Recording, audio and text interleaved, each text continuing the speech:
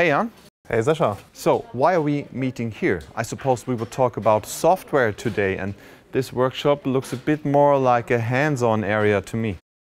Well, we are here for a good reason. The engineering software ClipX Engineer offers a lot for control cabinet manufacturing. For example, manufacturing support. What kind of support is this, and what is it used for concretely?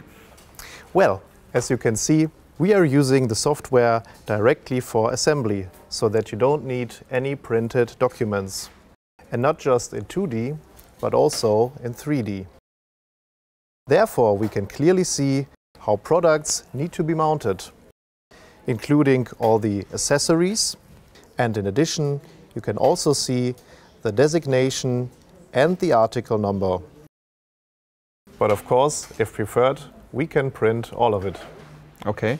This is definitely necessary for a seamless and failure-free mounting process. I can also see that marking is included on the articles. Can we use this information in further production processes as well? Yes, of course. As we have a direct interface to our marking software, let me quickly show you how that works.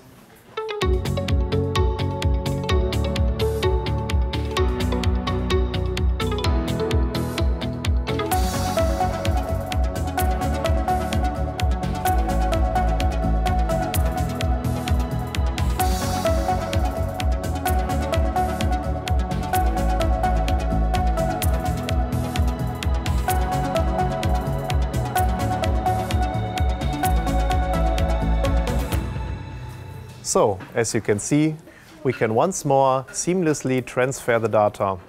And from our marking software, we can then directly print all the markings. Very impressive. Thank you very much, Jan. The features of ClipX Engineer really do path the way for the control cabinet building of tomorrow. In our next video, we will explore another function of the software which is absolutely future ready, the functional engineering. If you want to know what this is all about, stay tuned.